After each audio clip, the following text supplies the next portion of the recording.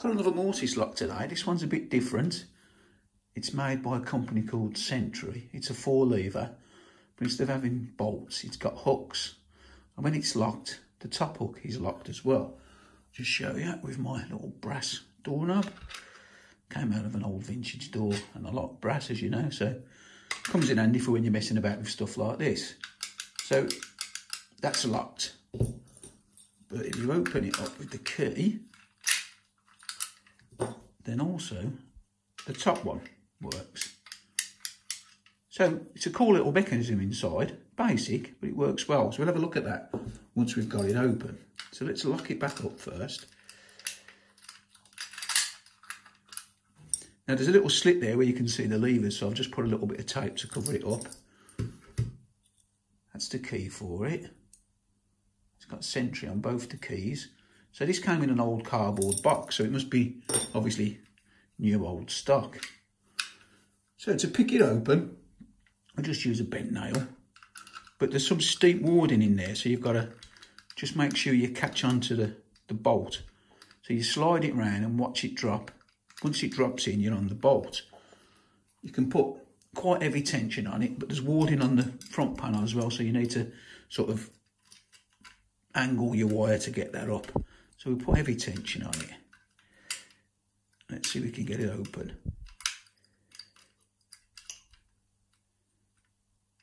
It is quite tricky really because you've got to battle your way around the warding but once you know what you're doing it ain't too bad.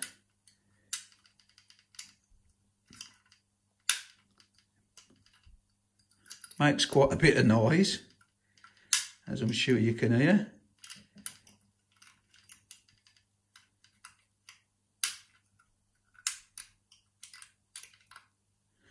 It's that front lever what you've got to struggle with. See how I'm putting my wire at an angle. And once again, like I say, I'll show you inside once we've got it open.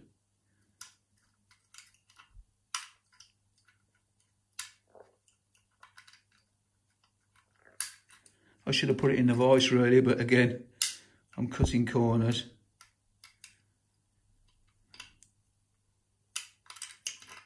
We're almost there. There you go, we've got it. So obviously when you pick it, it doesn't throw the bolt fully. Just take your tool out and get your wire. Put your wire up the top and just throw it across. So that is now fully open. I'll just take this off now and show you. You see, it's fully open. So obviously now the top opens. So yeah, different. Let's have a quick look inside it.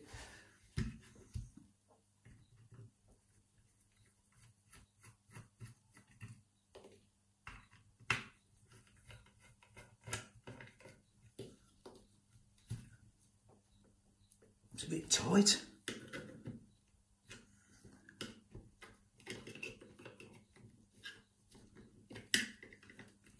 There we go. That's the mechanism inside. Now this is what I was on about, the warding. Obviously when you're putting your key in, you're on top of that. So you'd miss that bolt completely. But if you turn it round and then let it drop, it drops just there. And then you can tension the bolt. So yeah, cool little lock. And the same on the front, see, when you're trying to pick that front lever up. Again, you're rubbing on that warding, so you've got to sort of put it in and twist it just to get that front lever. But yeah, what a cool little lock made by Century. So we'll try to lock it now while the cover's off and see how this bolt works. I'll put my finger on, on there so all the levers don't spring off. So you can see how the how the key works and it goes around that warding. So obviously we want to go that way. Now, just put my finger on there. See that? That's pretty cool.